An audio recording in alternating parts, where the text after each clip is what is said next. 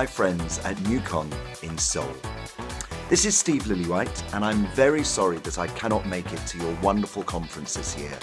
But um, I hope to make it next year. And I just wanted to say a few words about my wonderful time I had with Glen Check last year, who are a very, very promising young band from, from your wonderful country. They came to uh, Los Angeles and they did a great recording with me, and uh, I really think this band are going to do well.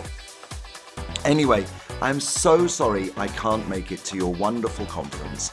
And um, have a great time and hi to everyone there. Thank you so much.